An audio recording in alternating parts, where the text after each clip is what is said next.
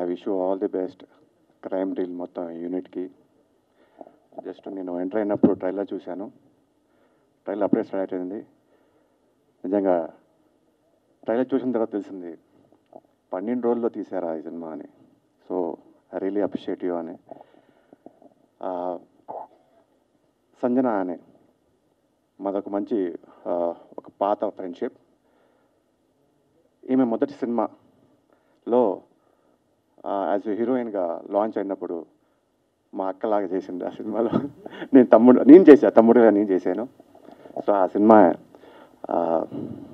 మన నీకు నాకు పిల్లంట టామ్ టామ్ టామ్.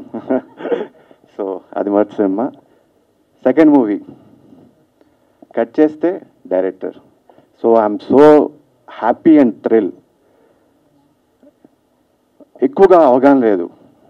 అంటే చూసింది చేసింది. ఆ మూవీ ట్వంటీ ఫోర్ డేస్లో చేసాం ఆ మూవీ.